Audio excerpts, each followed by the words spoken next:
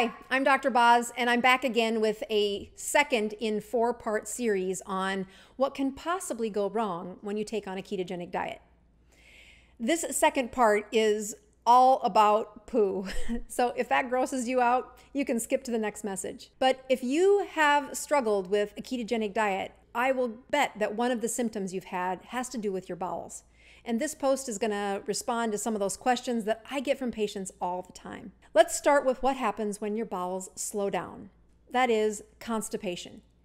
In the first post about what can go wrong with a ketogenic diet, we talked about the keto flu and getting very dehydrated. That is another factor that causes dehydration in the bowels, which is constipation. The lack of all that water in a short period of time slows down what your bowels can do. One of the antidotes for the keto flu was salt, salted water, and salt on your foods. This salt in a constipated state also helps those bowels to loosen up and move along. When I look at some of the other reasons patients on a ketogenic diet transition and do really well, they pee that first ketone, they're feeling okay until about day four at the point where they miss pooping. I think I must do a pretty good job of selling what the high fat meats are and how tasty they are because my patients seem to do that hook, line, and sinker. Nobody misses. But what they don't do such a great job of is adapting to some of those vegetables that do fit into a ketogenic diet. In fact, I've had some patients say, Do people really eat that? So I give you some suggestions about what can happen in a ketogenic diet on that first week when it comes to bowels moving too slow. So, first, we want you using salted water. That salt is really important to stay hydrated. Number two, though, is find some cabbage. Cabbage is one of those vegetables that my patients didn't eat much of before a ketogenic diet. And I encourage them buy a head of cabbage and put it in the fridge. You can't believe the ways you can use that in a ketogenic diet. Stay in ketosis and it helps with constipation. Next, I move on to something called chia seeds. That's C H I A, chia seeds. These little seeds are kind of like tapioca. You swallow them down and they expand to four or five times their size. This keeps the moisture in your guts uh, from one end to the other and really does a great job at helping with constipation. In patients who've had a really significant trouble, I give them a formula of two tablespoons of chia seeds every two to four hours with a big glass of water. This doesn't take them out of ketosis. Boy, it really does help with that volume replacement in your bowels to give them a nice, healthy bowel movement. Some of my patients have said, you know, doc, I got to the sixth tablespoon and I was tired of taking them, so I quit. But the next day, success.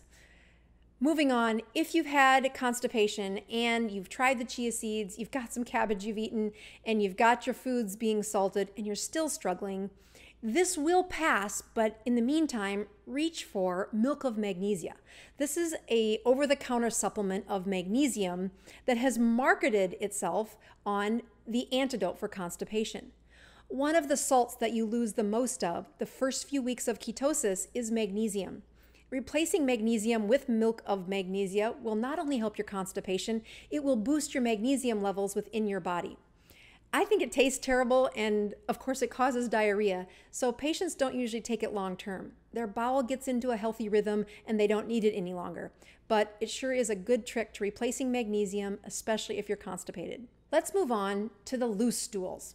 In fact, when people tell me they have constipation with a ketogenic diet, I almost consider it normal. This should happen.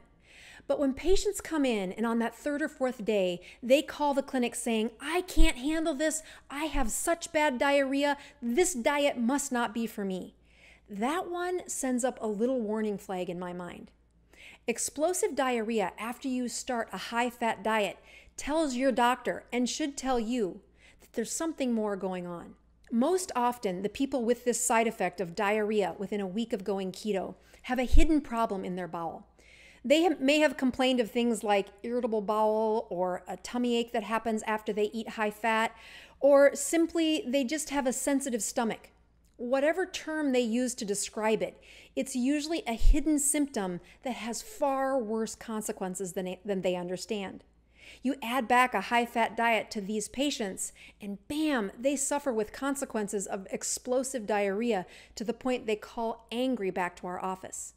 The most important message I have for these patients is to wait, don't quit. Your body has a deep inflammatory problem that we don't understand hidden deep inside your bowels. Usually, I'll send those patients off for some blood tests, and the one I'm most curious to look at is a vitamin D. Vitamin D is one of the essential nutrients that your body needs, and although you can get it from sunlight, if you have a problem absorbing fat, your vitamin D will be in the single digits. It should be 40 or 50, but a vitamin D in the low 20s or in the teens, or heaven forsakes, in the single digits, tells me you are not absorbing fats correctly. This stays hidden because patients avoid fats they'll tell their doctor, you know what, I just can't eat those fatty foods. Every time I do it, I get explosive diarrhea. The United States government has spent a lot of money trying to investigate this. It's quite a tricky puzzle to solve. It's hidden deep in the bowels of our, our bodies in a place that we can't just quickly look at and make a diagnosis. There's a really interesting study that was out of the 70s of a small population of people who had irritable bowel syndrome. They had bowels that didn't work right, and it seemed to be chronic with a host of symptoms that are kind of vague but seemed to match up pretty closely in all these patients. The patients were put on a high fat diet, and it took six months for this side effect of diarrhea to go away. What was happening deep inside their bowels was the system to absorb those fats was finally turning on. It had been sleepy and dormant for a very long time, hidden in the grime of inflammation associated with inflammatory bowels. They had depression, they had high anxiety, and they had this strange tummy pain. Those were the irritable bowel patients. The longer they were on the high fat diet, the less of those symptoms were present. When I look at patients who call with this explosive diarrhea, my staff and I know those are the patients that need this anti inflammatory diet the most. We encourage them to hold on, we'll help you. There are some ways to get through this, but if there's any profile of patients that needs a high fat diet, an anti inflammatory diet, more than the, than the average, it's my patients with irritable bowel syndrome or something called small bowel overgrowth. Let me explain that. Small bowel overgrowth reflects that you have an overgrowth of bacteria in your small intestines. The first section of your bowels is supposed to be sterile as in no bacteria. That's kind of weird because your, your large intestine is got the most bacteria of our whole system. And when your intestines are working correctly, those two parts say stay separate. But when your bowels get depressed or you have anxiety or you have malnourishment or high stress environments, the bowels start to do a little jig. They're, they do not move the food along as well as they're supposed to. And these little bacteria creep from the large intestine back upstream into the small intestine. Man, is that the perfect home for them. There's no competition. They are the only bacteria around and they overgrow dramatically. This causes an injury to that small intestine. That injury means they're not absorbing the foods they should, and that inflammation is in part what happens to irritable bowel patients as well as those who have small bowel overgrowth. These are the kind of patients that show up saying, Doc, I can't have your keto diet. I have explosive stools. Again, those patients are the ones I slow down the most for and really pour into the education that this diet is super important for their situation. So, what do they do in the meantime? Don't worry, there are some tricks. The first antidote is Lomotil. Lomotil is an over the counter anti diarrhea medication that isn't meant to be used long term, but boy, it really helps with these patients. It will slow down the bowels enough that they can continue their life as their bowels start to heal. Taking time off of work because you tell your boss that I'm on this new diet and I can't be away from the toilet.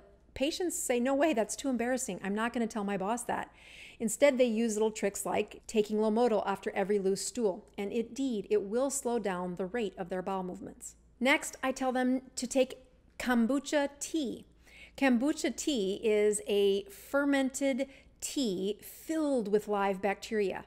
This bubbly drink is an amazing way to replenish some of the bacteria that like to live in your bowels. This process is not often tolerated very well by my patients with irritable bowel. It's really important that those patients with irritable bowel or bacterial overgrowth, when they add kombucha tea, I want them taking a fourth of a cup a day. That's not very much.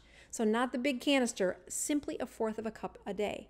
In fact, they're usually the patients that say, Doc, I can't take that. It makes me feel awful. Be aware there are lots of things changing when it comes to the bowels and bacterial overgrowth and a small bowel, bowel injury. That replenishment of bacteria can be a wonderful, cheap, easy, effective treatment for improving that symptom. Finally, I get to one that is a little difficult for patients to hear, but if you have an injury on your small intestine from not being able to absorb fats, and we're trying to wake up those cells to absorb the fats, to decrease the inflammation, sometimes the best answer is to give that bowel a rest.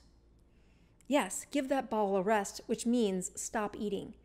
Intermittent fasting can be one of the best antidotes for my patients that suffer from small bowel troubles.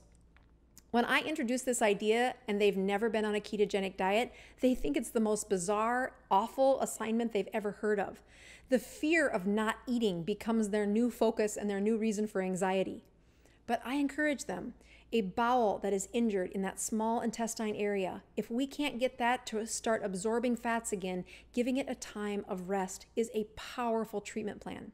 I'll leave you with this quote, which is from Hippocrates, the Greek philosopher who was known as the father of medicine. And he says this about intermittent fasting Everyone has a doctor in them. We just have to help him in his work. The natural healing force within each of us is the greatest force in getting well. To eat when you are sick is to feed your sickness. I'm signing off today. Thanks for tuning in. I've got two more parts about what can go wrong with a ketogenic diet. If you'd like to learn more about this, you can check out my book, Any Way You Can, on Amazon or Audible. Until next time, I'm Dr. Boz.